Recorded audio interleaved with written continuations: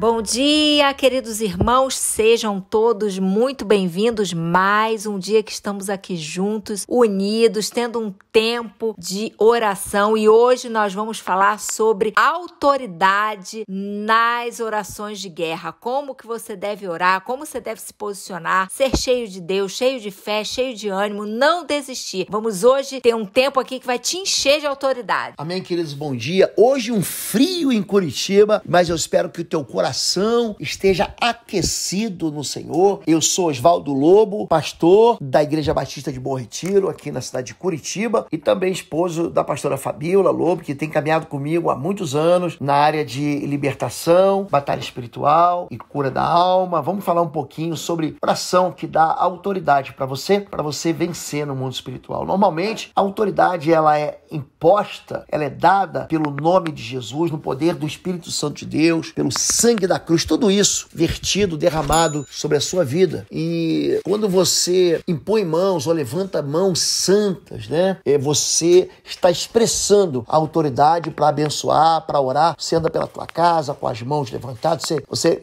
coloca a mão para curar doenças, né? Como diz Mateus 16, 18. Imporão as mãos sobre os enfermos e os curarão. Você consegue distribuir ou, ou, ou repartir dons, né? Como aconteceu em Atos 8, Atos 9, Atos 10, Atos 19 quando eram impostas as mãos, quando você consagra alguém. Então, existe autoridade, existe um poder de autoridade na oração de guerra? Existe. Em Números 17, diz que o Senhor escolheu um homem chamado Josué. Números 27, 15, ele diz o seguinte: Eu estou designando um homem para liderar. Pode ser uma mulher hoje, pode ser alguém dentro da nossa cultura, da nossa família. Se você é uma mãe que hoje tem criado seu, seu filho sozinho, você é um pai que é viúvo, você está vivendo uma sua situação de solidão. Eu quero dizer que existe sim, existe sim autoridade quando você confessa o nome de Jesus. Então Deus chamou Josué, um homem que tinha o Espírito de Deus, falou: Moisés, impõe as mãos sobre ele e dê parte, reparta, né? Dar parte é repartir a autoridade. E Josué foi um homem que venceu na batalha. Então, a unção é que dá autoridade. Então, sobre sua vida, você deve lembrar que é uma unção do Espírito. Quando você crê, o Espírito do Senhor é sobre a tua vida. E é a imposição de mãos que delegam a autoridade. Quando Josué luta, ele tem as mãos de Moisés levantadas. Ou seja, por que a Bíblia manda impor as mãos? Porque esse meio é de conferir bênção, cura, poder espiritual na vida de alguém. É um sinal natural que comunica essa autoridade, esse poder no mundo espiritual. E é uma concordância. Quando você impõe a mão sobre alguém, você está concordando né, em ela participar do ministério. É, é, é, é, funciona como uma autorização, uma ação sacerdotal. Pastor, mas eu não sou pastor, eu não sou sacerdote. A Bíblia diz que Deus é, nos chamou como reis e sacerdotes. Como reis e sacerdotes. Então, a, a, a unção, na verdade, revela, quando você levanta as tuas mãos em autoridade, em poder, está revelando um poder de transferência sobre a vida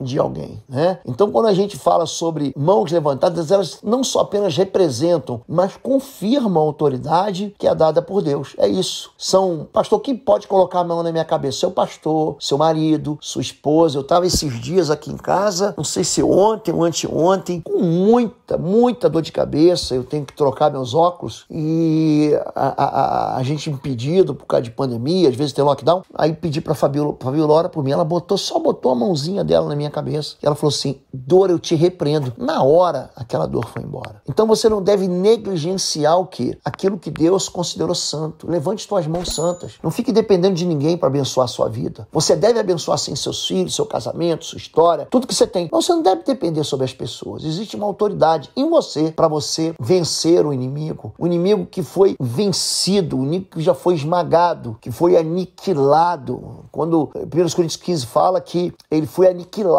todo o império, toda a potestade e poder. Então aprenda agora, você deve ter cinco fundamentos da oração de autoridade de guerra. E essa semana nós estamos falando só sobre isso, sobre oração de guerra. Em primeiro lugar, a intercessão é um ministério de guerra. Então não é uma oração que você pede, Deus vem aqui e cura, Deus vem aqui e abençoa. Essa oração existe sim, você deve fazer, mas não é a oração de guerra. A oração de guerra é onde você mesmo dá uma voz, onde você confia confronta o mundo espiritual, onde você é, recebe essa autoridade que Deus te deu e usa ela. Jesus diz em Lucas 10, 19: Eu lhes dei autoridade para pisarem sobre cobras, escorpiões, sobre todo o poder do inimigo e nada lhes fará dano. Então, Satanás que tem que ser esmagado debaixo dos vossos pés. Então, você tem que aprender que, que, que a oração de guerra, o fundamento da intercessão, é o que? É o ministério que vai entrar em confronto e que você vai vencer. Mas existe um peso da intercessão. Você lembra quando Moisés ele está orando é, em favor de Josué? As mãos dele eram o quê? Pesadas. Então Arão e Ur tinham que sustentar ele. Então existe um peso, existe um peso, mas isso não é retaliação. Isso é o quê? Isso é o cansaço da guerra. Pastor, eu estou orando um dia, dois dias, três semanas, um mês, um ano. E você fala, pastor, eu estou cansado. É por isso que entra o quê? O terceiro fundamento. A unidade do time de intercessores. Então, você deve pedir para aquelas pessoas que estão do seu lado. Muita gente deixa pedidos aqui no canal. Pastor, ora por mim. Pastor, se junta comigo em oração. Pastor, se junta minha fé. Quando você combina a fé, quando você liga na terra a tua fé, quando você faz uma, uma liga, é o quê? Uma massa. É quando você concreta a tua fé com a fé de alguém. Eu concordo em nome de Jesus. O inferno se dobra diante do céu. Os inimigos, eles recuam diante da tua oração, da tua oração de fé. Então, lembre-se que deve haver uma unidade na oração. Você vai orar com o teu marido? Concorde com ele. Poxa, mas meu marido quer viajar e eu quero trocar de carro. Meu marido quer comprar alguma coisa, eu quero comprar outra. Querido, concorde então que vocês vão viajar e vão comprar o que você tem que fazer. Vocês têm que trocar de carro e, e então concorde com o teu marido. Não discorde nisso. Amém? Em quarto lugar, além da unidade do time de intercessores, você deve perseverar. A perseverança, de fato, é é sim uma, uma ação de Deus que favorece, que é como se você fosse destruir um muro de concreto. Você pega uma marreta, bate uma vez, duas vezes, três vezes, quatro vezes, você vai batendo, parece que nada vai acontecer. Aí quando chega na vigésima, na vigésima quinta marretada que você dá, aquele muro inteiro inteiro, que não estava dando nenhum sinal de fraqueza, ele se desfaz como pó. Então, você deve ficar com as tuas mãos firmes, com a tua oração firme. Existe uma eficácia na oração. A oração do justo, ele pode muito em seus poderes. Então, eu quero que você ore comigo. Pastora Fabiola vai orar pela sua vida agora. Eu vou orar logo em seguida, pedindo autoridade da tua oração na guerra espiritual em nome de Jesus. Oi, gente, um rápido intervalo. Você que ainda não é membro, seja membro do canal para nos abençoar. Dá um like, compartilha. E se você quer crescer em libertação e batalha espiritual, vai lá na nossa loja www.institutoexodo.com. Os nossos livros estão lá que vão fazer você crescer nessa área e se tornar um valente na batalha. Deus te abençoe.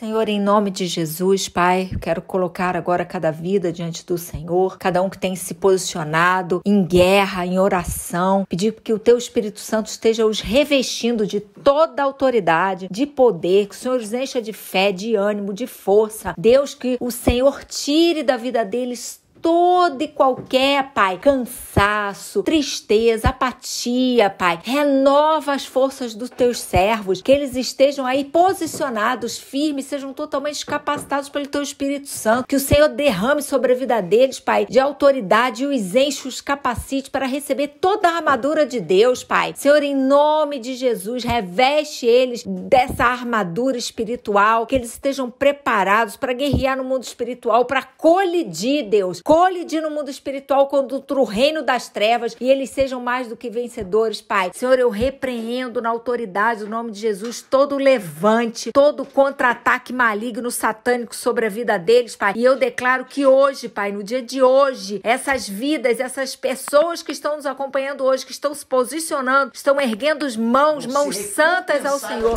vão ser recompensadas, Amém. Pai. Vão receber a vitória, galardões do Senhor sobre a vida deles, Pai. Em nome nome de Jesus, Deus, amém. Amém, amém, amém. Em nome de Jesus, Pai. Eu me junto na fé de cada uma dessas pessoas e eu quero expressar a autoridade do Senhor sobre a vida delas, para que elas orem com, com ousadia para abençoar suas vidas e para vencer as trevas. Eu quero colocar nas mãos dos seus filhos autoridade para cura de doenças, na concessão de dons e nas consagrações ao Senhor em nome de Jesus. Quero trazer sobre a cabeça dos teus filhos essa autoridade autoridade que vem pela unção do teu Espírito Santo. Que as mãos dos teus filhos levantadas exerçam uma, uma força bruta contra todo o mal do inferno em nome de Jesus. Que eles derrotem os exércitos dos inimigos que têm se levantado contra eles ao fio da espada, que é a palavra do Senhor. É, a nossa luta não é contra pessoas, mas é contra espíritos, contra demônios. Então eu quero, em nome de Jesus, conferir essa bênção sobre eles, esse sinal de que, que comunica a autoridade do mundo espiritual. Quero concordar aqui com a oração de filhos e filhas que estão colocando aqui no chat, estão colocando aqui na descrição de vídeo pedidos de oração hoje, em nome de Jesus. Quero repartir com eles essa unção, essa ação sacerdotal que otorga autoridade em nome de Jesus. Amém, amém, amém. Que bom que você tem levantado conosco nesse dia e nesses dias de frio, se posicionado na guerra espiritual. Amanhã temos mais. Quero dizer para você que tem sido uma alegria caminhar ao seu lado. Se você não é inscrito no canal Oswaldo Lobo, se inscreva, compartilhe essa mensagem, deixe um like. Isso está abençoando sua vida. Tá? Promova, leve essa mensagem, essa oração para tanta gente quanto você puder, em nome de Jesus. Amém? Nossa plataforma de ensino à distância, cursos.pastorlobo.com, tem uma novidade que é o plano mensal. Você pode acessar os sete cursos inteiros da plataforma Êxodo do Pastor Lobo por apenas R$19,90 mensais. É um plano é, mensal, você pode cancelar a qualquer momento que você quiser, tá bom? Deus te abençoe.